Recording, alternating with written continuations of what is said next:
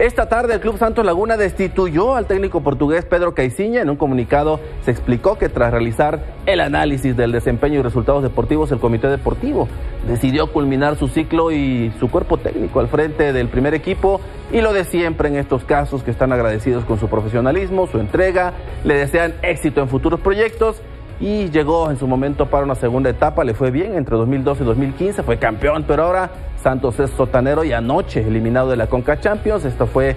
fundamental, por cierto, Cruz Azul, Cruz Azul le ganó esta noche 3-1 al Ford FC, avanzó a los cuartos de final en ese torneo del que echaron a Santos Laguna.